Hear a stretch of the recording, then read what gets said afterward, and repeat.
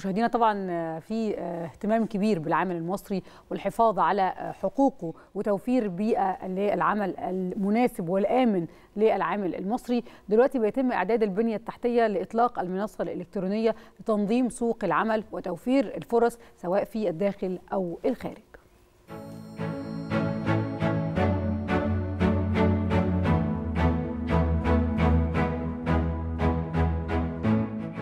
أولى الرئيس عبد الفتاح السيسي عمال مصر في الداخل والخارج اهتماما كبيرا على كافة المستويات ووضع العامل في مكانته الصحيحة واهتم بتوفير البيئة الملائمة للعمل والإنتاج باعتبار أن العامل هو وقود معركة البناء في الجمهورية الجديدة.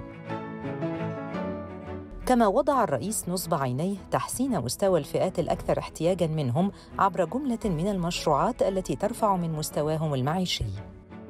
وتعمل الحكومة على الانتهاء من إعداد البنية التحتية لإطلاق المنصة الإلكترونية لسوق العمل لتنظيم عمليات العرض والطلب على العمالة المصرية بسوق العمل في الداخل والخارج. هذا بالإضافة إلى الانتهاء من المرحلة الأولى للاستراتيجية الوطنية للتشغيل بالتعاون مع منظمة العمل الدولية وتستهدف تحقيق أهداف استراتيجية التنمية المستدامة وآليات خلق فرص عمل بالتنسيق بين الوزارات والجهات المعنية استعدادا لتحويل نظم العمل في كافة المجالات إلى نظم رقميه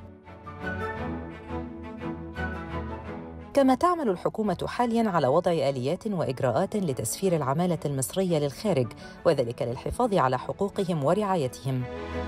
حيث تتمسك الدولة ببدء عمليات التسفير عقب الانتهاء من منظومة الربط الإلكتروني بين وزارة القوى العاملة ونظيرتها في الدول الجاذبة للعمالة لتحديد احتياجاتهم من التخصصات المهنية المطلوبة وكذلك وجود ضمانات لحصول العمالة المصرية على كافة مستحقاتها.